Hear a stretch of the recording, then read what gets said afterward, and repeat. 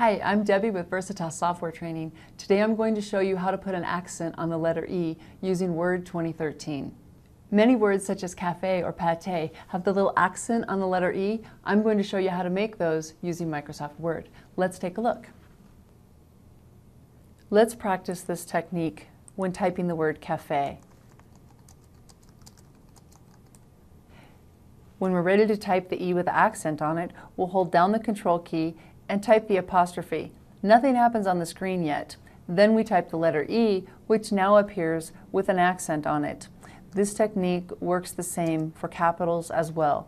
Hold the control key with the apostrophe, nothing appears, and then type the capital letter on which you'd like to have an accent. This works with other letters as well. Just hold the control key and type the letter on which you'd like to have an accent, and then continue typing your word. So that's how you make an accent on the letter E, or really any letter, using Microsoft Word.